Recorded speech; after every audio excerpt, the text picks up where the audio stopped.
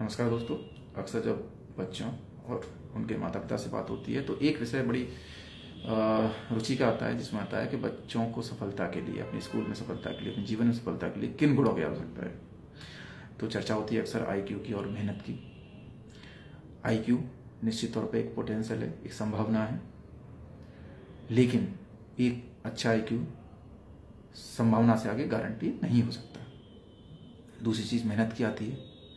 मेहनत तो अगर कोई बच्चा लंबे समय तक बड़ी रुचि के साथ में, बड़ी तल्लीनता के साथ में एक विषय पर समय दे रहा है तो वो समय उसके लिए मेहनत ना होके उसके लिए आनंद का स्रोत हो सकता है, वो विषय उसके आनंद का स्रोत हो सकता है।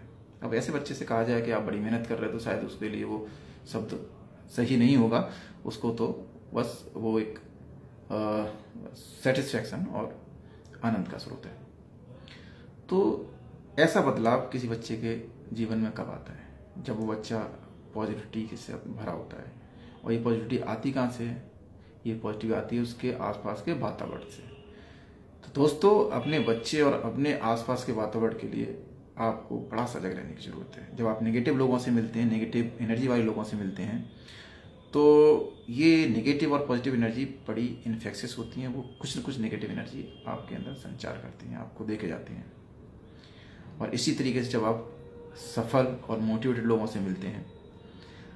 तो उन लोगों की मोटिवेशन का कुछ न कुछ असर आपके ऊपर पड़ता है। उनकी पॉजिटिव एनर्जी किसी न किसी रूप में आप में आती है। तो कैसे पहचानें कि कैसे लोगों से दूर रहना है और कैसे लोगों से संपर्क बढ़ाना है? तो नंबर वन जो लोग अक्सर दूसरे लोगों के बारे में बात करते रहते हैं, उनकी असफलताओं के लिए दूसरे लोगों को जिम्मेदार ठहराते रहते हैं, आलोचनाएँ करते रहते हैं, परिस्थितियों को जिम्मेदार ठहराते रहते हैं, विषय के बारे में कम और व्यक्तियों के बारे में ज़्यादा चर्चा करते हैं। ऐसे लोग, मनहूस हैं, इनसे दूरी बनानी, ये नेगेटिव एनर्जी से भरे हुए लोग हैं।